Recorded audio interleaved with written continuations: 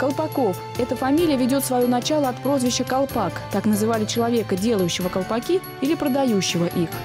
Серафим Васильевич Колпаков, советский государственный деятель, министр черной металлургии. Родился 10 января 1933 года в городе Липецке в семье рабочего. Металлургом хотел быть с детства. Закончил Липецкий горно-металлургический техникум. По направлению уехал работать в Челябинскую область, на Ашинский завод. Серафим прошел все рабочие должности и уже через два года стал заместителем начальника литейного цеха. К 20-летнему начальнику просились рабочие из других смен.